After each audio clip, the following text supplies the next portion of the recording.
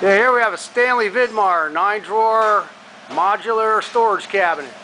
It appears to be unused. It's in really good condition. It does have a little shipping distress. I'm going to show you that right here. Not a big deal. The drawer's still open, especially the bottom ones, with no issues whatsoever at all.